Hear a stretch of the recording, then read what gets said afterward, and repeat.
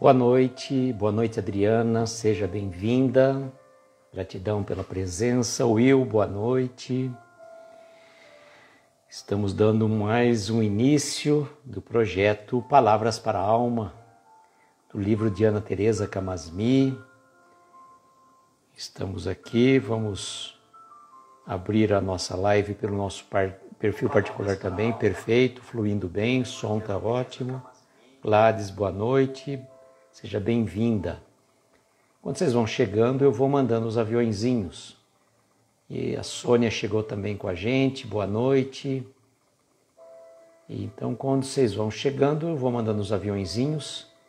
A gente tenta, fala também, né? Vamos mandar um aviãozinho para cinco amigos. E assim a gente vai divulgando as lives, né? A gente vai divulgando as lives, sempre de fundo esclarecedor, que é sempre bom, né?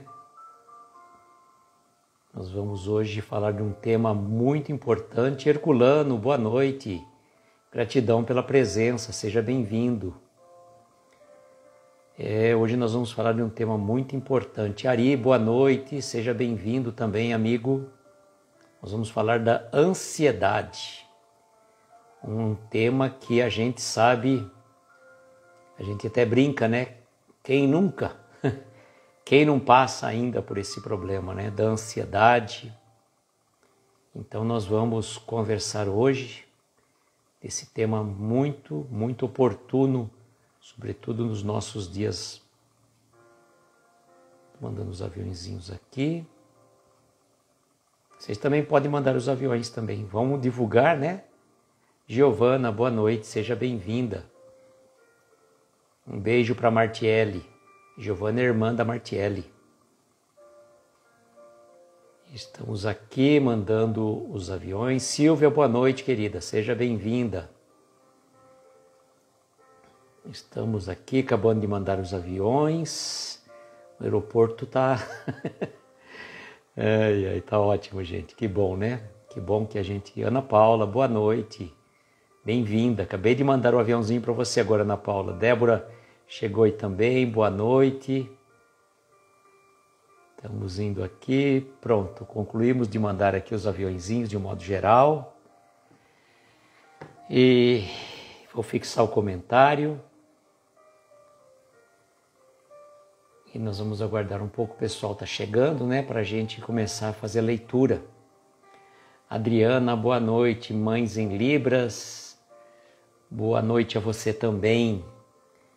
Fixado o tema, ansiedade, palavras para a alma, deste livro fantástico e maravilhoso, Cássia, boa noite, seja bem-vinda, deste livro aqui que é uma obra de arte. O cheiro, nossa, ele é tudo de lindo, tudo de bom esse livro. Eu adoro demais esse livro. Olha só, cada coisa maravilhosa. Aqui nós vamos ter uma foto da Ana Teresa. Olha aqui, ó. É muito lindo, muito bonito mesmo. Marquinho, boa noite, querido. Seja bem-vindo. E não só a beleza exterior do livro, né? Mas também, principalmente, o conteúdo dele. O conteúdo parece que a Ana Teresa escolheu a dedo, né? A Ana Teresa escolheu a dedo as mensagens para as nossas reflexões.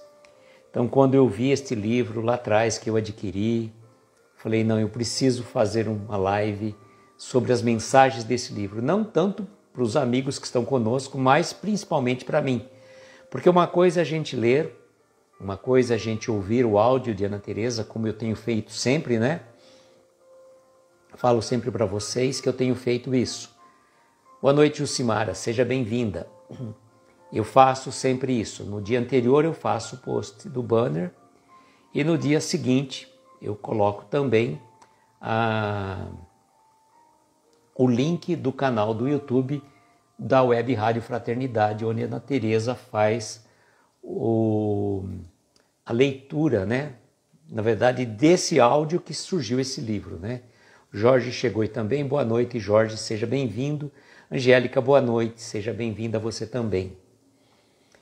Então, hoje, nós vamos esperar mais um pouquinho, mais uns dois minutinhos para a gente começar, para que a gente, porque os nossos amigos também que chegam um pouquinho depois possam É... Deixa eu ver se eu acho aqui para mandar aqui um aviãozinho aqui. Tinha me pedido e eu tinha esquecido. É, a Clara tinha pedido para mandar para caminhar. Vamos ver se ela recebe lá, né? Marquei a Clara aqui, então. E aquilo que a gente fala sempre para vocês, seguindo a orientação do nosso amigo o Sávio Dias, do perfil Discípulo Espírita. Sávio faz lives bem cedinho, seis, seis e meia da manhã, seis e meia da manhã, segunda a sexta, salvo engano. Toda manhã o Sávio está lá na Alvorada com Cristo. E ele sempre recomenda que a gente faça um encaminhamento de cinco, de avi cinco aviõezinhos para amigos queridos. Ah, o Everton está aí, juntamente com a Mari, com a Cláudia. Um beijo para vocês. Deixa eu. E por falar em Mari, falar em Everton, vou fazer o convite para vocês, tá? que, deixa eu ver certinho a data para a gente não equivocar. Gleison, boa noite, amigo, seja bem-vindo. A live especial no dia 24 de novembro, tá? 24 de novembro vamos ter uma live especial de aniversário do Everton. Vai ser numa quinta-feira, dia que normalmente eu não faço live, fazia anteriormente, mas agora não tenho feito mais. Quem faz live agora às quintas-feiras é o casal de Kardec, que faz às 22 horas. Então nós vamos fazer no dia 24, uma quinta-feira, 24 de novembro, às 20 horas, uma live especial de aniversário do nosso amigo Everton, tá? Contando com a presença de vocês aí para estarem juntos conosco, tá bom? Bom, nós já estamos com o número de pessoas aqui que dá para a gente fazer a leitura. Aqueles que chegarem depois vão acompanhar, né? Fazer o voltar o, o áudio, o vídeo, desculpa, ou então acompanhar o áudio da Ana. Hoje nós vamos falar sobre ansiedade. E Ana Teresa começa com muita propriedade, com muita propriedade, trazendo uma mensagem do nosso mestre Jesus. Não vos inquieteis com o amanhã, pois o amanhã se inquietará consigo mesmo. Basta a cada dia o seu mal.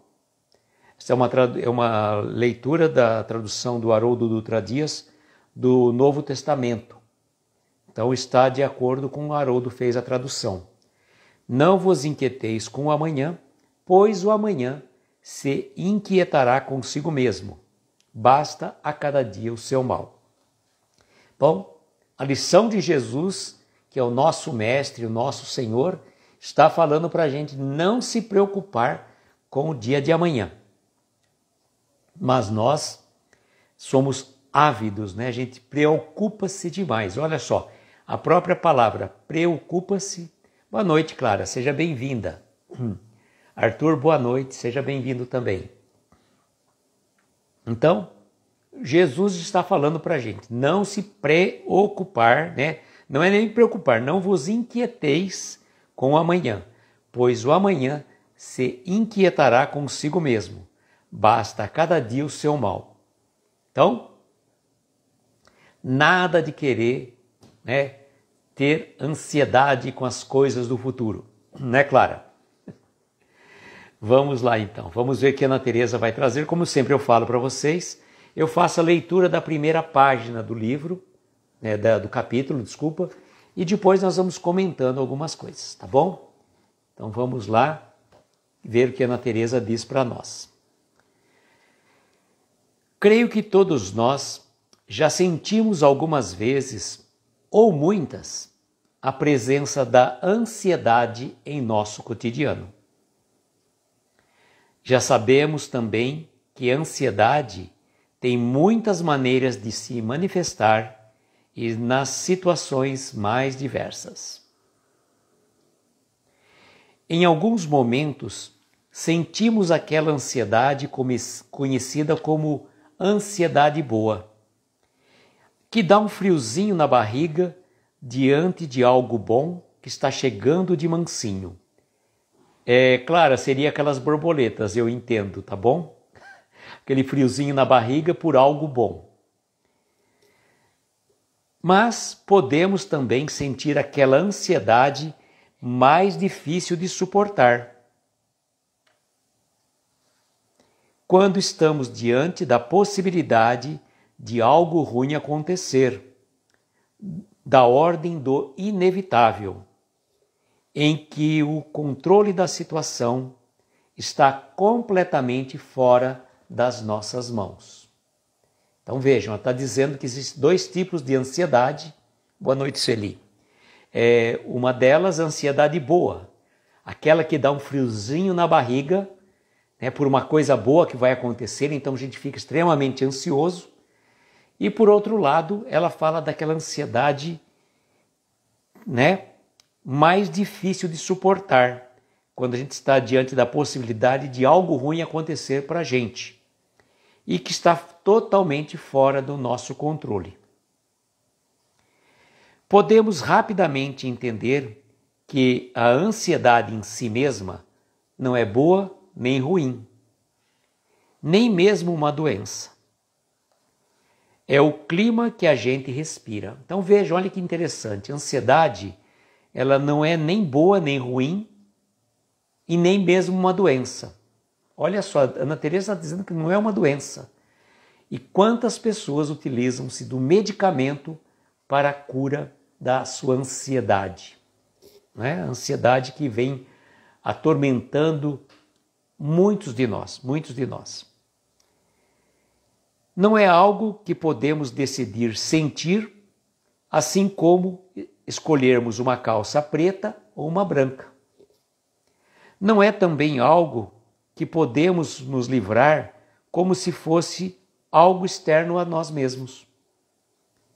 E também não é algo que possa estar ausente de nossas vidas, pois precisamos dessa energia para nos mover dos perigos.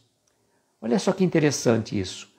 Ela está dizendo que não é uma coisa que a gente consegue se livrar como se fosse alguma coisa externa da gente.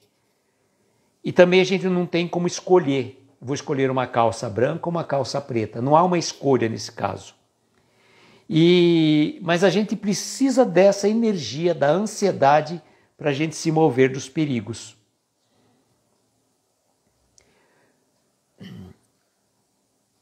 A ansiedade mostra expressa como estamos lidando com as circunstâncias das nossas vidas. O que podemos então de verdade, e podemos muito, é cuidar da nossa ansiedade. Quando nos sentimos muito ansiosos, queremos que a ansiedade desapareça, de tanto que ela nos incomoda. Geralmente, ela nos torna, nos torna, nos toma por inteiro, agitando o corpo, os pensamentos, provocando uma aceleração da respiração. E pode até provocar um aperto no peito.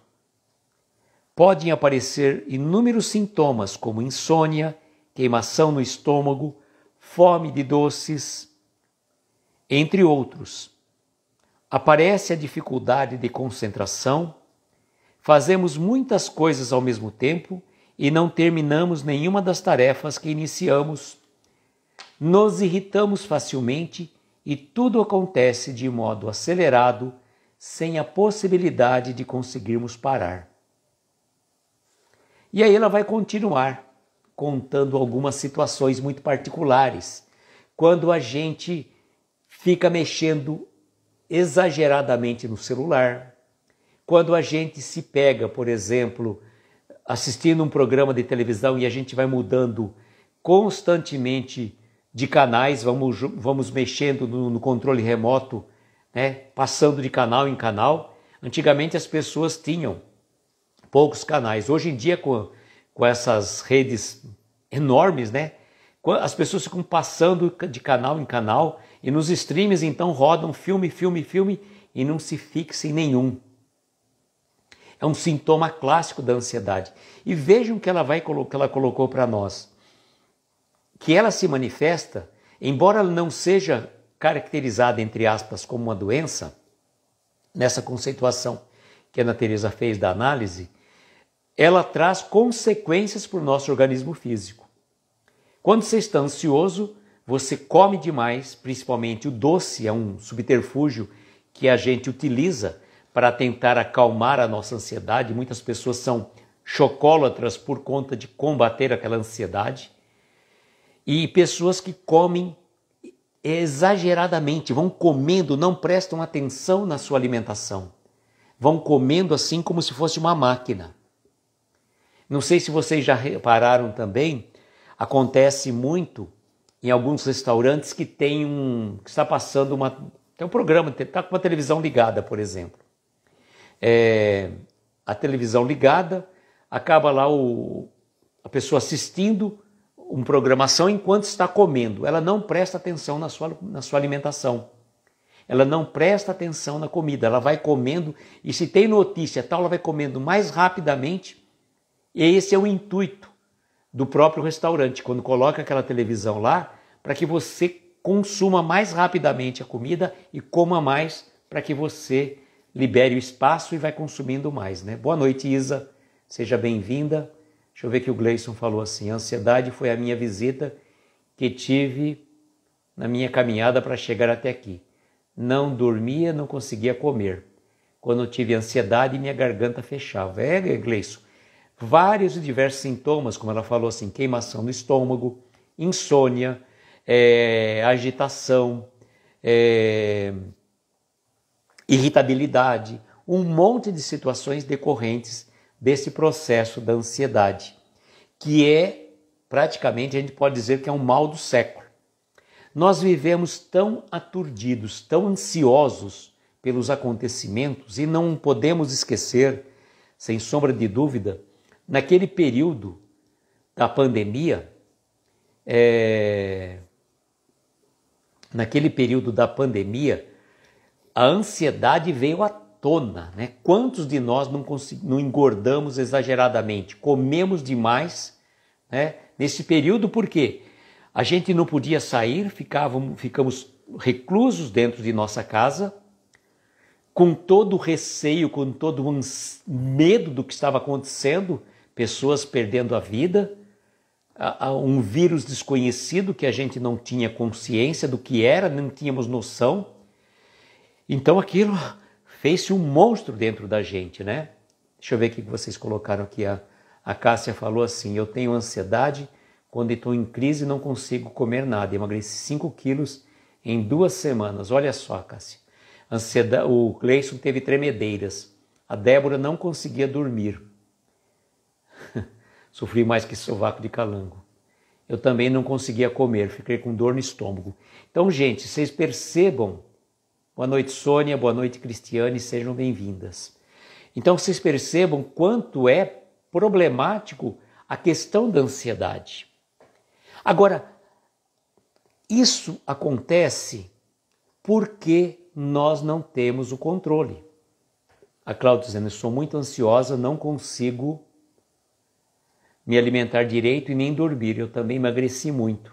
A Clara perdeu o sono é, o Herculano seria um sintoma da depressão, não é bem um sintoma, ele pode desencadear uma depressão, né? É praticamente é um processo. Eu não sou especialista na área, viu, Herculano, mas eu acredito que é um processo.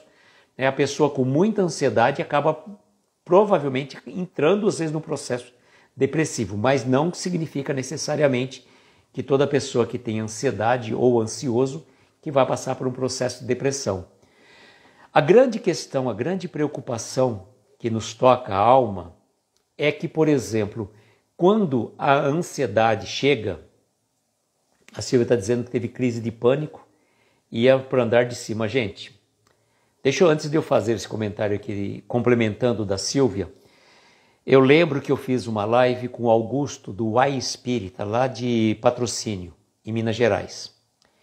E o, o Augusto ele falou o seguinte: não conseguia respirar, faltava o ar, com certeza. O Augusto falou o seguinte: naquele período da pandemia, quem não teve uma crise né, de ansiedade, de pânico naquele período? Extremamente. Eu posso falar para vocês de cátedra, tá? Porque realmente o que, que aconteceu? Começo da pandemia, março de 2020, eu peguei, tive herpes zosters. Herpes zosters é uma doença, só para vocês terem uma noção, do vírus da catapora. Quando você é criança, na infância, você teve catapora, o vírus da catapora fica alojado no músculo. E fica lá quietinho, né? Você já teve a catapora, normal. Numa idade um pouco mais acima, né? Mais ou menos lá para os 40, 50 anos, mais ou menos, não é uma data limite nesse sentido. Carlos e Natália, boa noite. O que, que acaba acontecendo? Se te baixa a imunidade a ponto, né, você está passando por algum problema de ordem emocional, o que, que acaba acontecendo? Você baixou a tua imunidade, o vírus da catapora que estava quietinho, alojado lá no teu músculo, ele se manifesta. Ele se manifesta. No meu caso, felizmente, não foi uma coisa difícil, mas pegou da ponta do dedão até aqui no meu ombro, no lado direito. Só dá de um lado. A mãe do, da, do, do Carlos, né? Sofre sequelas, sequelas até hoje. E aí o que acontece? Três meses de sofrimento por conta da, da herpes zosters. E qual que foi o meu receio naquela época? Poxa, minha imunidade está baixa, veio um vírus desconhecido, falei pronto, Vou passar por andar de cima, que nem a Silvia pensou aí. Então deu pânico realmente, deu um pânico danado, porque a gente estava passando por uma situação que não estávamos devidamente preparados, embora também pudéssemos ter sido ah, alertados no plano espiritual que a gente iria passar por isso. Ninguém passou, está passando pelo esse momento na Terra por acaso. Tudo já decorre de uma programação para todos nós. E até os nossos irmãos que partiram em decorrência do vírus, havia toda uma programação para que eles partissem. A gente não, não, a gente sabe que não cai uma folha de uma árvore sem que Deus assim o permita. Então, é importante que a gente tome consciência. E como acontece essa ansiedade? Como que ela se manifesta? Ana Teresa coloca para nós que a ansiedade acontece porque o nosso corpo e a nossa alma estão em desarmonia. A nossa alma está lá no futuro, lá no amanhã, e não há nada que a gente possa fazer para antecipar as horas, os dias e os meses. A gente está lá na frente, a gente está sofrendo por antecipação. Aquela famosa preocupação, ou seja, nos ocupamos antecipadamente, chegamos antecipadamente né? Nos preocupamos antecipadamente com algo que pode ou não acontecer. Pode ou não acontecer. Silvia falou que chegou para um socorro implorando para respirar e pedindo para não deixarem morrer. Olha, difícil, hein, Silvia? Muito difícil.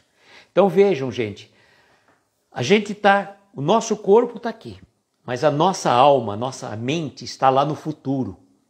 E não há nada, absolutamente nada, do que a gente possa fazer para antecipar um segundo que seja. Um segundo, um minuto. Tudo acontece no tempo certo. Só que a gente é imediatista. A gente quer para ontem. A gente quer para agora, para esse exato momento. A gente não aguenta esperar. Não temos a confiança na providência divina como Jesus colocou para nós aqui. Não vos inquieteis pelo dia de amanhã a, a cada dia bastam as suas preocupações. A cada dia bastam as suas preocupações. Então a gente se preocupa demais. Eu vou fazer um, ó, eu vou fazer uma até brincando um pouco com o tema, eu vou fazer uma coisa para falar uma coisa para vocês, tá? É, vou fazer uma previsão não vou fazer previsão nenhuma. É uma brincadeira. Não leva essa vida muito a sério, gente. Ninguém vai sair vivo dela. então adianta a gente ficar preocupado.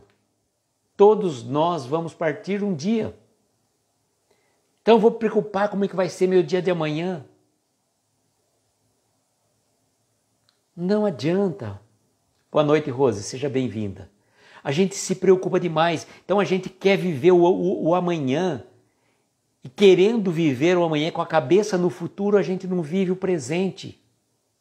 A gente não vive o presente.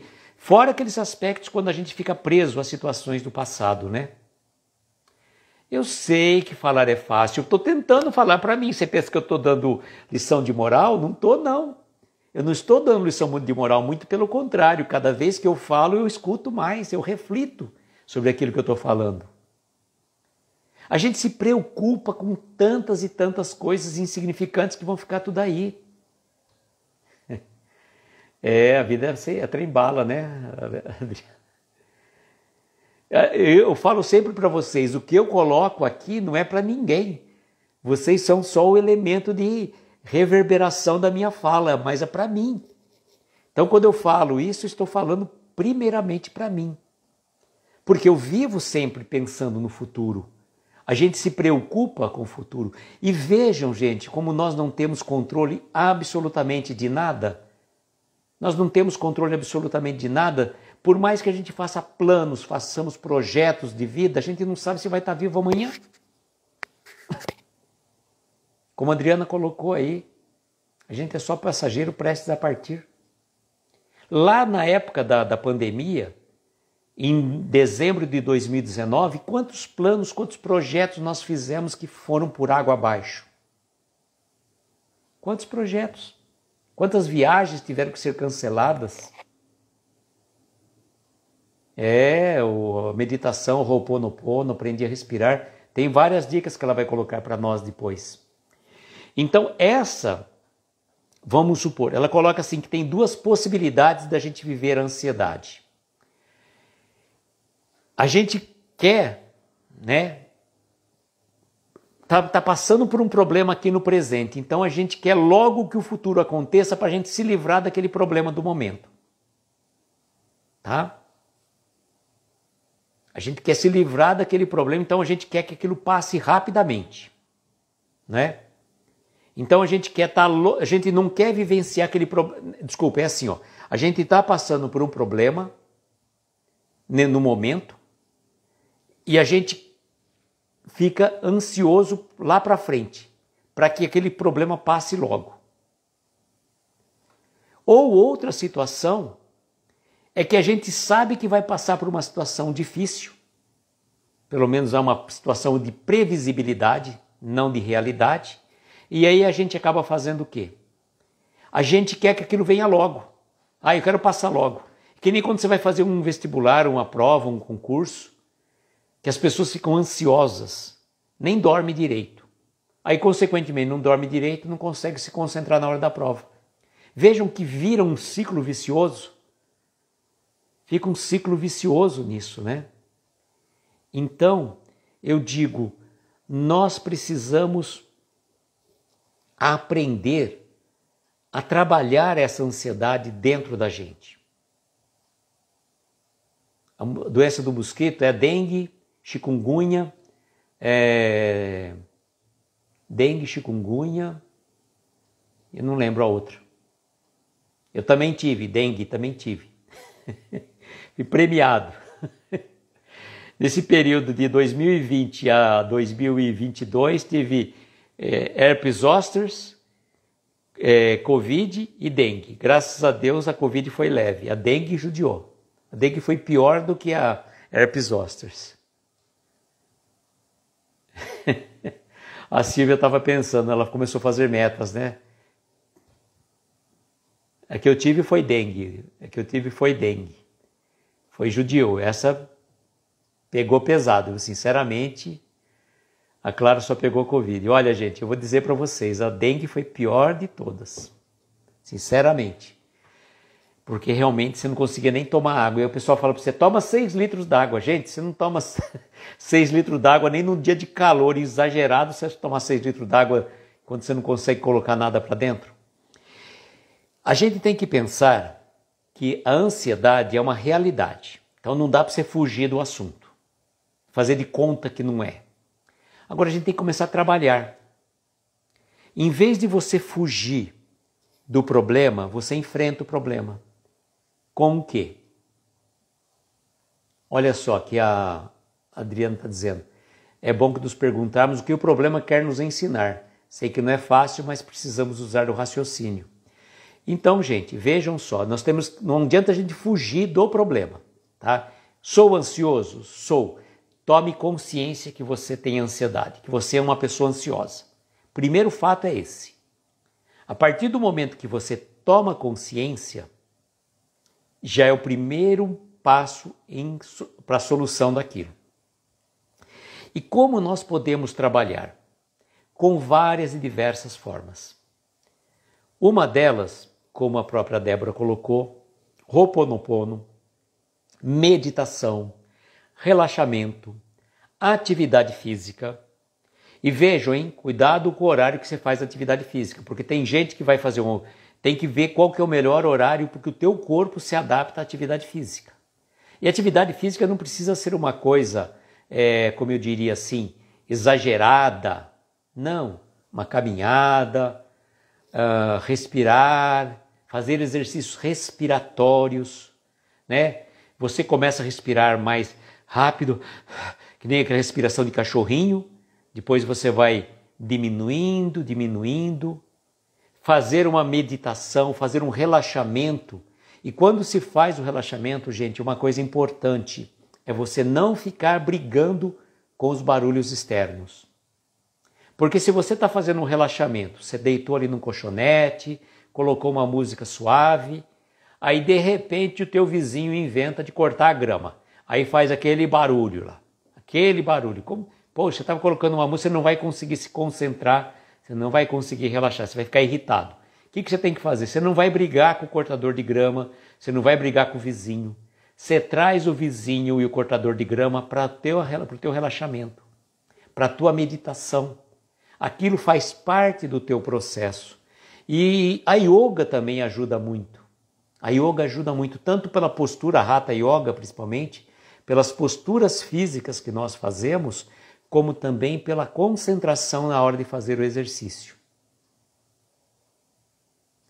Procurar fazer é procurar estratégias, exatamente. Então, primeiro passo é tomar a consciência que nós somos ansiosos. Não fugir. O medicamento, tá, não vamos dizer que não ajuda, ajuda. Mas como a gente sempre fala, é o remédio, não é a solução. O, deixa eu ver que o Herculano falou, se existe um problema, fui eu quem criei e creio que sou capaz de resolver na hora certa. Uh, Marquinho, ansiedade insegurança caminham juntas. Deixa eu ver aqui, a Ana Paula disse, eu sou nova no trabalho, ontem respondi uns chamados de outro setor com orientação do meu diretor, porém respostas foram meio atravessadas. Eu seria mais delicada, quem me conhece sabe. É, aí é um fato, um fator que quando a tua ansiedade vem à tona, você vem, como a Ana Teresa colocou, um estado de irritabilidade. E nós não estamos isentos da irritabilidade. Eu falei para vocês, ontem foi um dia meio difícil para mim que eu me irritei facilmente por algumas questões. Agora a gente tem que parar e pensar: o que está me levando a essa irritação? O que está me deixando irritado? E se naquele momento que você está irritado, você fizer uma pausa, por exemplo, você está no ambiente de trabalho, o que, que você faz? Você não consegue ali né, fazer a tua mentalização, a tua oração. Vai ao banheiro, desce um pouco, vai tomar um café, respira fundo, né? Ana Paula falou, fim do dia, diretor do outro setor manda um. é, Ana Paula, acontece, essas coisas acontecem, né? A gente tem que. Ambiente profissional, a gente tem que estar pisando em ovos, como a gente diz, né? Mas você vai dar conta, viu, Ana Paula? Não, não se preocupe. Ocupe-se tranquilamente, faça a tua oração, faça a tua meditação, que você vai dar conta do resultado com satisfação. Pode ficar tranquila. Pode ficar tranquila. Aliás, a gente tem que trabalhar as nossas emoções, a gente perceber quando eu estou ansioso, o que, que eu sinto. Ah, com certeza, o Evangelho, sem sombra de dúvida. Ó, vamos pensar o seguinte: então, nós vivemos um processo de ansiedade, estamos ansiosos naquele momento. O, aonde aquilo se manifesta em mim? É na minha irritabilidade? Então eu procuro me acalmar. é na minha a, a agitação, eu procuro me concentrar bastante, né? Aí o feriado atrapalhou o dia de espera, ficou mais ansioso, né? Com certeza, né? Quando você tem uma coisa para resolver e aí surge uma, um entrave no caminho, como o feriado, por exemplo, né? Boa noite, Regina, seja bem-vinda. A gente tem que prestar atenção no nosso corpo, que o nosso corpo fala. O nosso corpo fala. A gente precisa prestar atenção nos sinais que o nosso corpo está dando. Roberto, boa noite, seja bem-vindo. Então pensemos nessa questão. A serenar o corpo, a serenar a mente. Preste atenção, às vezes a gente aquelas pessoas que ficam assim, ó. Está numa reunião, fica assim, fica ali batendo o pé, fica agitado. Não. Primeira coisa, preste atenção no teu corpo. Deixe-o tranquilo. Se seu corpo estiver tranquilo, já é um grande sinal para que você consiga né, vencer as outras dificuldades do caminho. Lembrarmos então, sou ansioso? Sim. Eu sou ou eu estou ansioso? São duas perguntas diferentes. Eu estou ansioso. Por que estou ansioso? Ah, porque eu vou responder pelo, pelo setor, como diz Ana Paula. Então estou preocupada com determinadas situações. E quando a gente se preocupa, a gente sempre imagina o pior. Um monte de situações piores que podem nos acontecer. Então a gente já faz aquele, né, tempestade num copo d'água. Só que toda a energia que nós gastamos nos preocupando, ela vai fazer falta na hora de resolvermos o problema ali na hora. Então, primeiro passo, tomou consciência do que você está te deixando, que está te deixando ansioso. E você coloca, às vezes, até numa, num papel, o que, que eu posso fazer para resolver essa situação. A situação apresentou-se, resolva naquele momento. O ansioso sofre por antecipação, com certeza. Eu tinha um. Olha uma coisa que é interessante, né? Claro que não dá para aplicar por todas as questões esse exemplo que eu vou dar. É, eu trabalhava no jurídico de uma ferrovia aqui em Araraquara. E o meu chefe recebia os processos, muitas vezes alguns processos extremamente complicadíssimos, complicadíssimos. E a sabedoria dele era incrível. Vinha um processo que se ele tivesse que decidir, se ele tivesse que decidir de, de pronto, nossa, ia virar um, uma coisa complicadíssima. Complicadíssima. Se ele decidisse do jeito que precisava ser decidido naquela hora. O que, que ele fazia? Então ele recebia aquele processo, ele deixava ali na mesa dele. Aí as pessoas cobrando: Fulano, você já viu o processo? Não, não, estou analisando o processo.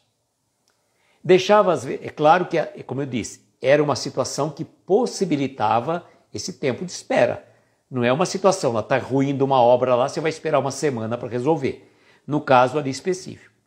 Então ele deixava né, a coisa. Quando a poeira baixava do problema que estava naquele alvoroço, aí ele resolvia o processo. E ele dava a solução que praticamente já tinha acontecido, já tinha a solução já tinha vindo de uma forma natural. Que se ele tivesse despachado o processo com a orientação lá atrás teria virado um problema enorme. Então, praticamente, quando ele definiu, deu a decisão do processo, era praticamente o que já tinha acontecido. Às vezes, aguardar o momento oportuno é a melhor coisa para a gente fazer. A gente não pode tomar decisões assim de afogadilho. Temos que ter calma, temos que ter paciência. Ah, mas às vezes a coisa é para já, para esse exato momento. Tá, por mais que seja, seja urgente, nada que não te possa permitir que você faça uma prece, né, uma inspiração e peça orientação espiritual para que, que venha uma orientação com a melhor solução que você possa tomar em relação àquele, àquele fato que está acontecendo. E que quando o problema é insolúvel demais, e não há o que a gente possa fazer, eu lembro uma vez que um amigo meu falou isso. Quando não tem solução, solucionado está. Então é importante que a gente aprenda a ter um pouco mais de calma, um pouco mais de paciência com as coisas. Nem tudo dá para resolver de, de pronto. Boa noite, Luciana, seja bem-vinda. Nem tudo dá para a gente resolver. A gente tem que esperar as coisas fluírem, né? É, a Adriana estava falando várias coisas, né? Tomar consciência do problema, definir estratégias para vencer a ansiedade, buscar ajuda no Evangelho, ter fé na que temos capacidade, consciência de que tudo que é para fazer é para melhorar. Olha, receita de fé. Receita de fé nos deu a, a Adriana para gente. Olha só. Então, olha, se a gente seguir isso, né? Primeiro, consciência do problema. Segundo, definir estratégias para vencer a ansiedade. Buscar ajuda no Evangelho e né, outras, né, meditação, Ho'oponopono, yoga, tudo mais, né? Ter fé que temos capacidade e consciência de que tudo que acontece é para o melhor, né? Parece receita de bolo, mas não é, é verdade, mas fantástico, fantástico mesmo, perfeito. Tá vendo, Ana Paula? A gente faz a live aqui e a resposta vem. Viu? Copia aí, copia e cola, faz o Ctrl C, Ctrl V e você vai ter sucesso. Pode ficar tranquilo que todos nós vamos estar vibrando por você. Tá? Você vai se sair muito bem, como sempre. Ó, oh, eu não te conheço para falar isso, mas a Clara com certeza vai dizer que é verdade isso que eu estou falando. Vencemos a ansiedade? Claro que não. Claro que não. O medicamento, como eu estava dizendo, o medicamento, o remédio, ele, como o próprio nome diz, ele é remédio. Mas se você puder utilizar de medicamentos é, ou fitoterápicos ou mesmo de chás, né, respiração, yoga, esses outros, muito melhor. Claro, às vezes a pessoa está num grau altíssimo de ansiedade que só medicamento que vai, vai, vai conseguir ajudá-la. Só que o medicamento não resolve o problema. Ele mascara o problema de uma forma, né? Ele vai mascarar o teu problema, ele vai, né, abafar. Você tem que tentar descobrir a causa. E onde está a causa? Dentro de nós. A causa está dentro de nós. Buscarmos, então, deixa eu ver se ela fala uma outra coisa aqui importante aqui, ó. É, e é uma coisa que ela coloca com muita propriedade aqui é que, o, que controle nenhum é capaz de resolver a imprevisibilidade da existência. É quase uma ilusão infantil insistir nesse controle e, portanto, trata-se de um projeto impossível de dar certo. Manter essa situação nos adoece de tanta ansiedade que criamos para continuar nessa direção. Sabe essa situação da gente querer ter o controle de tudo e de todos? Né? Nós não temos o controle de nada. Como eu falei para vocês, quem garante que a gente, todos os projetos que nós fizemos até o fim do ano, que a gente vai conseguir realizá-los? Não sabemos. Não... E querer ter o controle de tudo, né? a única coisa certa é a impermanência. Que as coisas podem e vão mudar, diferentemente do que a gente pensa. Então, se a gente não tem o controle, e às vezes o problema é de difícil solução, nós fizemos tudo que estava ao nosso alcance, é hora de entregar a Deus, entregar ao universo, pedir que Ele, né, Fala, Senhor, eu caminhei até agora com as minhas pernas, com os meus passos cambaleantes, só que eu não estou conseguindo. Então entrego, peço que o Senhor possa, né? Seja, a, olha só, que, que a gente fala no Pai Nosso? O que, que a gente fala no Pai Nosso? Acho que a gente não sabe orar mesmo, né, Luiz? Acho que não sabemos mesmo. Que veio bem a intuição para mim. A gente fala o quê? que seja feita a vossa vontade. Só que na hora da gente orar, a gente troca o vossa pela nossa. Então a gente quer que seja feita a nossa vontade, não a vontade de Deus. Né? Então, que seja feita a vontade de Deus, nosso Pai, não a nossa vontade. E quando a gente, fazendo a oração, a gente está sendo sincero na nossa prece, a gente está realmente entregando nas mãos de Deus a vontade dele. É, Adriano, tudo, tudo é impermanência, não temos controle de nada, confiança no Pai maior. A gente acha que tem controle. E a ansiedade vem da insistência de querermos manter o controle da situação. E a gente quer controlar tudo, né? A gente já quer controlar o futuro. Amanhã vou fazer isso. E alguma coisa que sai fora do nosso controle, a gente já se desestabiliza. Cada um de nós vai encontrar uma maneira de vencer, de tentar, né, não vencer, de diminuir a sua ansiedade. Cada um de nós vai resolver de um jeito. E não vai ter receita pronta, que nem a Adriana colocou. Parece receita de bolo. Ali é uma situação muito particular. Mas cada um de nós temos um jeito. Por exemplo, para uma pessoa, a meditação é fundamental. Para outra, fala: não consigo meditar.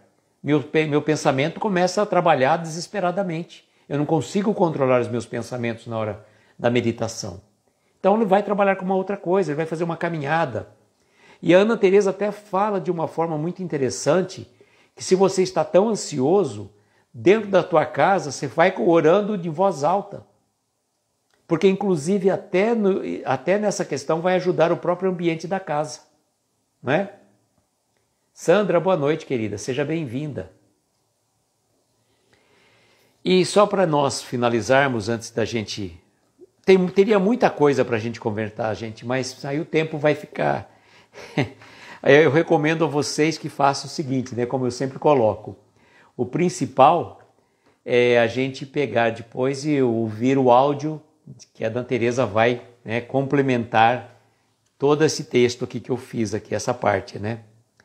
É, mas vocês, olha aqui que a Ana Teresa fala de Emmanuel, tá?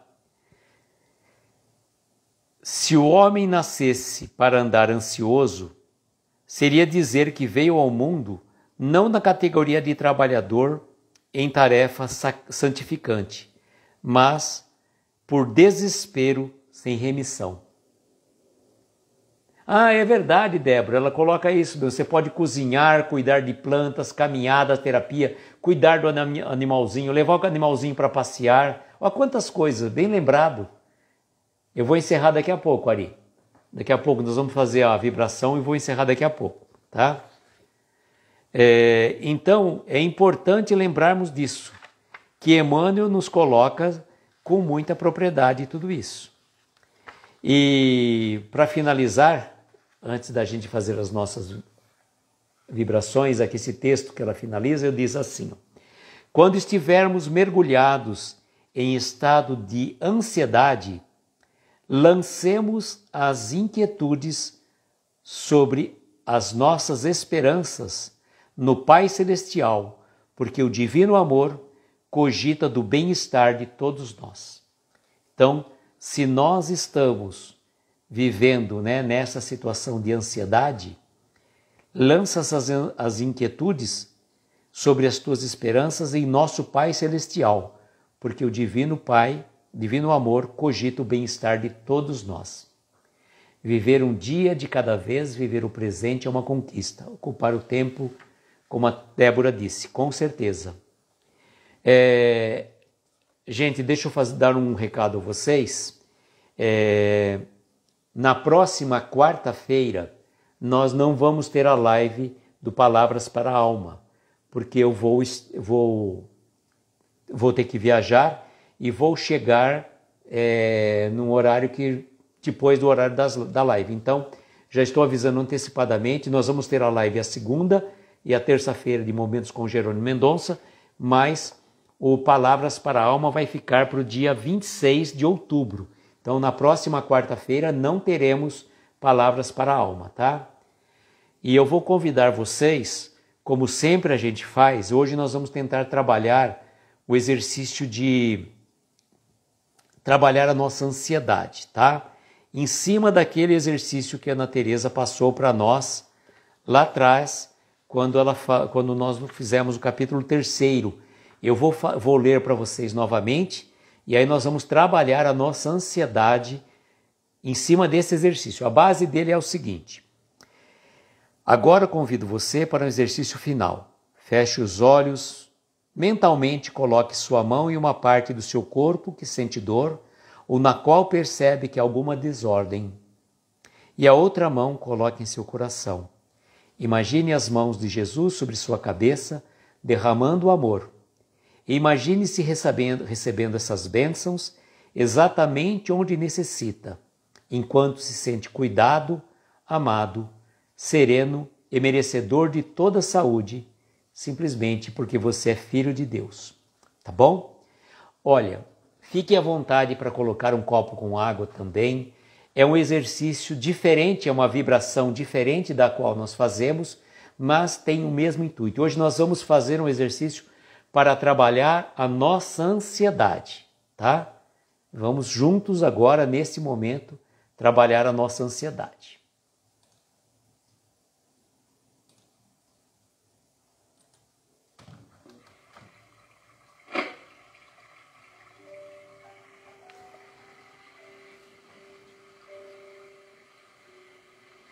Vamos tomar uma inspiração profunda.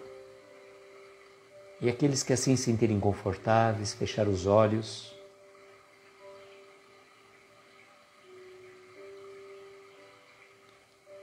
E conforme vamos expirando, vamos relaxando os nossos ombros,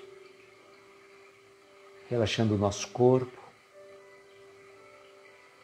Vamos inspirar mais uma vez trazendo todas as energias benéficas, salutares. Vamos reter um pouco o ar nos nossos pulmões. pulmões. Vamos soltar lentamente, eliminando todas as nossas ansiedades, todas as nossas energias mal qualificadas que guardamos em nosso coração. Repita mais uma vez o exercício, inspirando profundamente, contando até três, bem lentamente, e retendo o ar, contando até três, solte lentamente o ar. Nesse exercício de respiração, acompanhando esta melodia.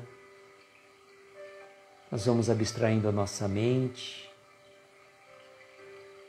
e vamos trazer a nossa mão para o centro do nosso peito. Normalmente é no nosso coração, no centro do nosso peito, que a nossa ansiedade se manifeste. Colocando a mão bem suave. Vamos mentalizar agora a outra mão no alto da nossa cabeça, ligando cérebro e coração.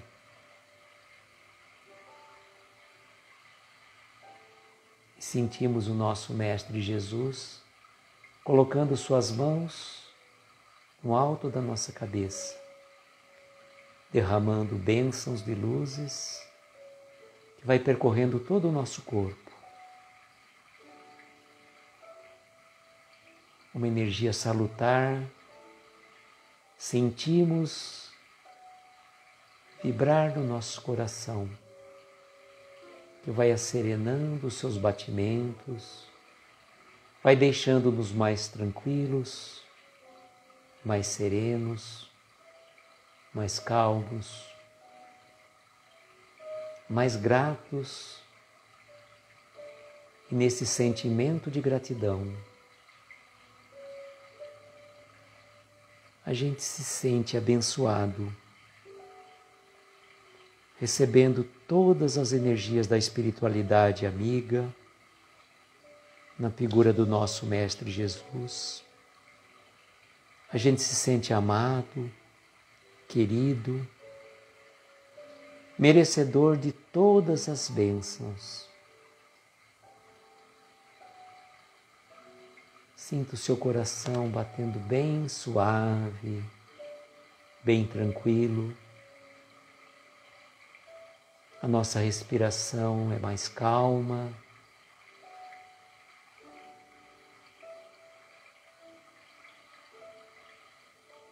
Este momento, nós imaginamos que estamos de frente ao mar ouvindo o barulho das ondas quebrando na praia. E aquelas angústias, aquelas, aqueles receios, aqueles medos que estamos sentindo no fundo do nosso coração, no abrir dos nossos braços, sentimos que tudo isso vai embora e que a brisa que vem do mar, juntamente com os barulhos da onda, envolve todo o nosso ser. Tomamos uma mais uma vez uma inspiração profunda e vamos soltando lentamente o ar, inspirando a brisa que vem do mar Mais uma vez, inspirando e relaxando, vamos soltando lentamente o ar.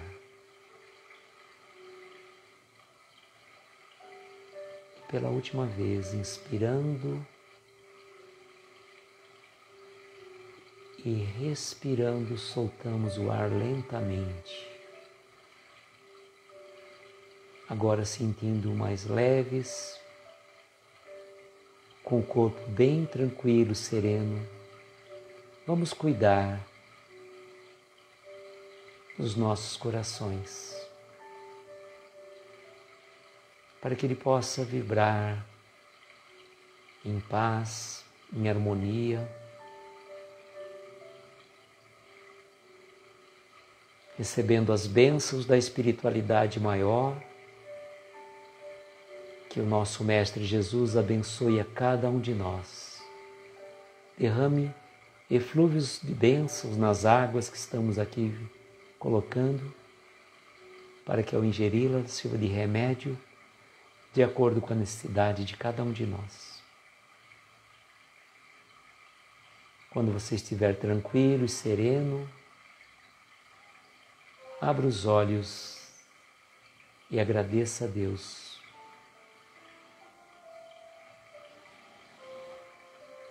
como diz aquela expressão, Namastê, o Deus que habita em mim, saúde o Deus que habita em você. Agradeço cada um de vocês que esteve aqui conosco, nos auxiliando nas reflexões da noite. Desejo, como sempre, que nós tenhamos uma noite abençoada de estrelas luminosas amparar os nossos mais belos sonhos muita paz, muita luz. Um beijo grande no coração de cada um de vocês. E até segunda-feira, se Deus quiser. Tchau, gente.